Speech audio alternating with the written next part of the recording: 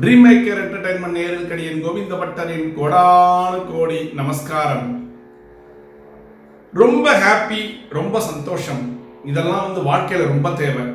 அந்த சந்தோஷமும் அந்த ஹாப்பியும் எனக்கு இருக்கு. காரணம் என்ன தெரியுமா?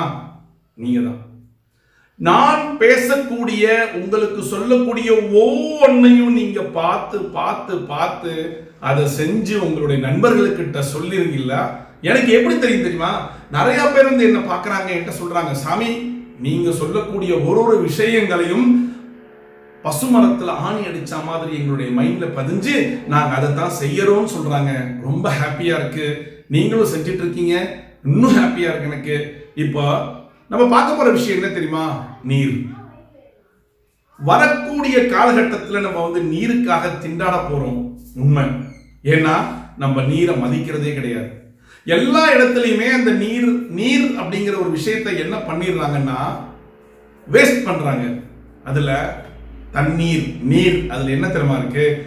மந்திர சக்தியை உள்வாங்கக்கூடிய ஒரு தன்மை நீருக்கு மட்டும்தாங்க இருக்கு. கோவில்கள் எல்லாம் பார்த்துருப்பீங்க தீர்த்தம் கொடுப்பாங்க பெருமாள் கோவில்கள்ல. எல்லா கோவில்கள்லயுமே கும்பாபிஷேகத்துக்கு நீரை குடத்துல வச்சு ஆவாகனம் பண்ணி அதுல பெருமாளை கொண்டு வந்து செலுத்தி தர்மத்தை வச்சு செலுத்தி பண்ணுவாங்க.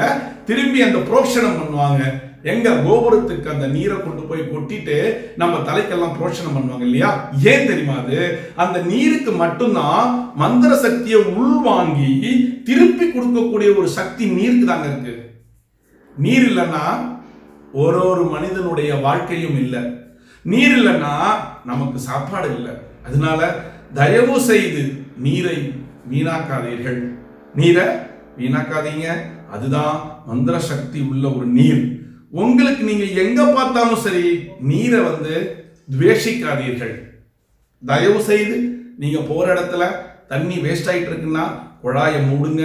தண்ணி நீங்க போய் சொல்லுங்க. அம்மா தண்ணி எல்லாம் வேஸ்ட் பண்ணாதீங்க ஐயா. அம்மா ஐயா வேஸ்ட் பண்ணாதீங்க. நாளைக்கு நம்மளுடைய வாழ்க்கையோட ஆதாரத்துக்கு நீர் ஒன்றுதான் முக்கியமானது.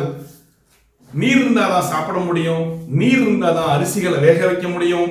நீர் இருந்தாதான் உழவுகள் நடக்கும் விவசாயம் நடக்கும். அதனால நீர் என்பது ரொம்ப ஆதாரமானது. நீர் ரொம்ப முக்கியமானது. இனிவரும் காலகட்டத்தில் அந்த நீரை நம்ம உற்பத்தி பண்றதுக்கான வழிவகைகள் மரத்தை நடுறோம்.